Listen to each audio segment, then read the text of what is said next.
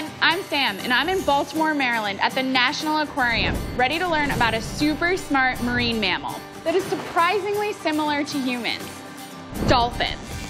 They're truly a fun and lovable creature, so let's go behind the scenes to learn more about them and the amazing people who care for them.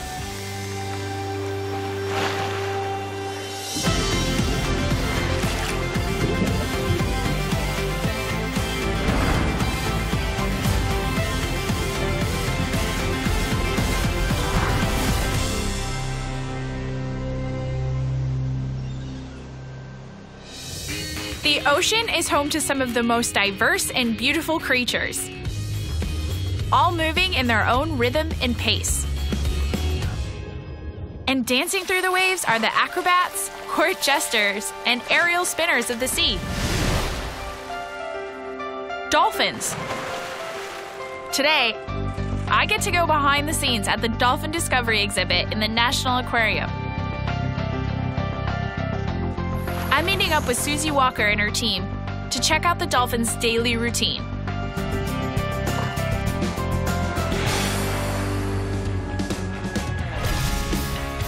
A typical day starts at 6:30 in the morning with breakfast. It takes the team 2 hours to sort and weigh 200 pounds of fish that make up the dolphins' diet. Prepping today's fish. They are fed every hour and a half, about 7 to 10 times a day. In addition to their diet, food is an important part of their learning through positive reinforcement. The trainers use food in a series of play and reward sessions to teach certain behaviors and build trust with the dolphins. Susie, can you tell me a little bit about what you do here at the aquarium? Sure, I am a trainer, so that means that I help take care of our animals. Another part of it is teaching them behaviors that help us take care of them, monitor their physical health. So Okay. We can, we can collect samples of blood or other things. Can you give me a little history on the dolphins that you have here? Sure, we have seven dolphins. Five of them are girls and two of them are boys. And all of them except one were born here Okay. at Dolphin Discovery.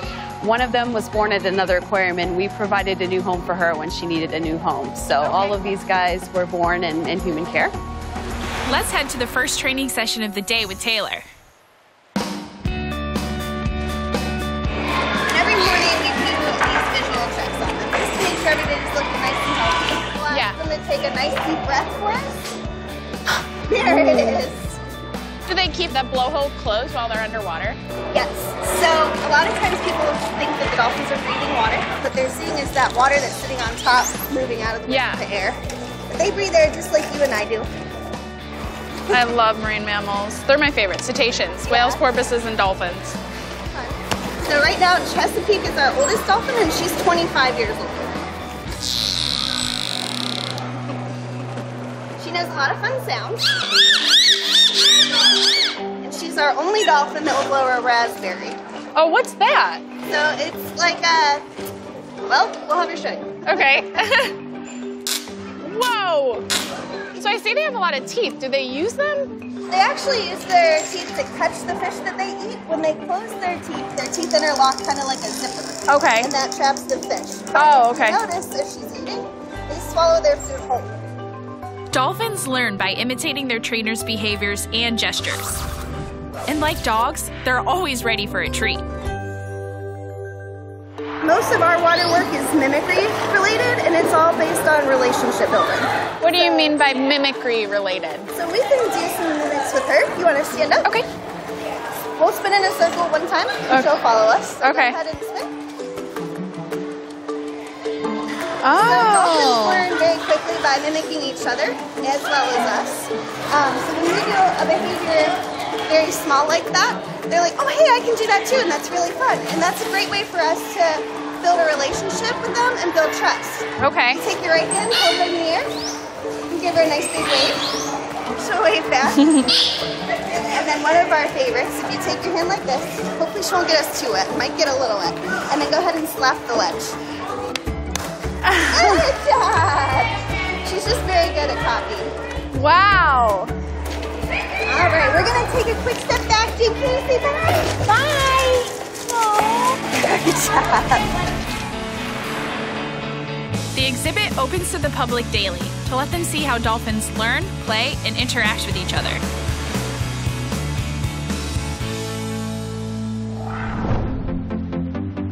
These sessions help educate visitors about dolphins. Now that I've seen them in action, I want to learn even more about their social behavior.